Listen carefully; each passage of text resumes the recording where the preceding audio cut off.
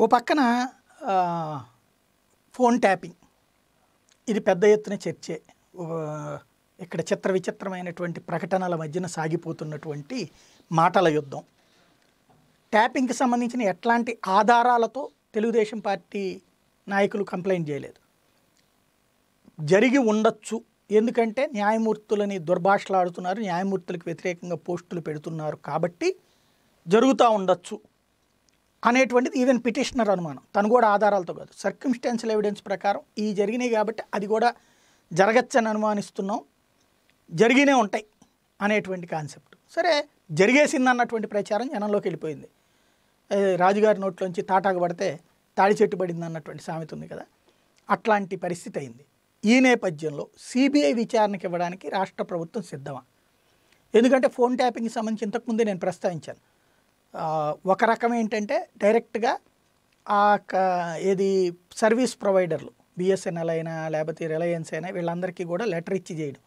అలా చెయ్యాలంటే నిన్న సజ్జల రామకృష్ణారెడ్డి గారు రిలీజ్ చేసినట్టుగా గతంలో ఆయన ఫోన్ ట్యాపింగ్ చేయడానికి ఆ కన్సర్న్ సంస్థకి వీళ్ళు చేసినటువంటి ప- ఏంటంటే ఒక కేసులో ఒక యాభై అరవై మంది నెంబర్లు ఇస్తూ అందులో సజ్జల రామకృష్ణారెడ్డి గారి నెంబర్ కూడా ఇచ్చి వీళ్ళందరూ ఏదో విద్రోహకర కార్యకలాపాలలో ఏదో ఒక తప్పుడు పని చేస్తున్నారు. కాబట్టి వీళ్ళకి సంబంధించిన ఫోన్లన్నీ ట్యాప్ చేసి మాకు ఇవ్వమని.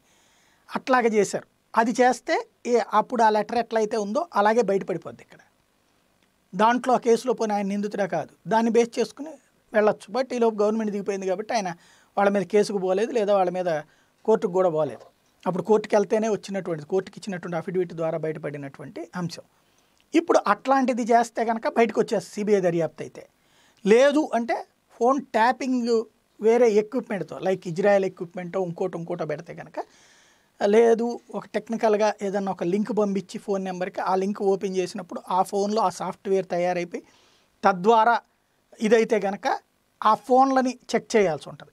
అదే టైంలో టెక్నికల్ ఎక్స్పర్ట్స్తో అలాంటివన్నీ కూడా చెక్ చేయాల్సి ఉంటుంది. ఈ ఫోన్లు ఎక్కడికైనా పోతున్నాయా ఏంటి? ఇది రాష్ట్ర స్థాయిలో తేలదు. ఇది తేలాలంటే సిబిఐ విచారణ జరగాల్సి ఉంటుంది. అలా చెయ్యమని చెప్పి ఏమన్నా ఆదేశిస్తారా? లేదా మేము చెయ్యలేదు అనుకుంటే మేము సిబిఐ దర్యాప్తుకైనా సిద్ధమని ప్రభుత్వమే కోర్టుకు చెప్తుందా? అనేది చూడాల్సి ఉంది.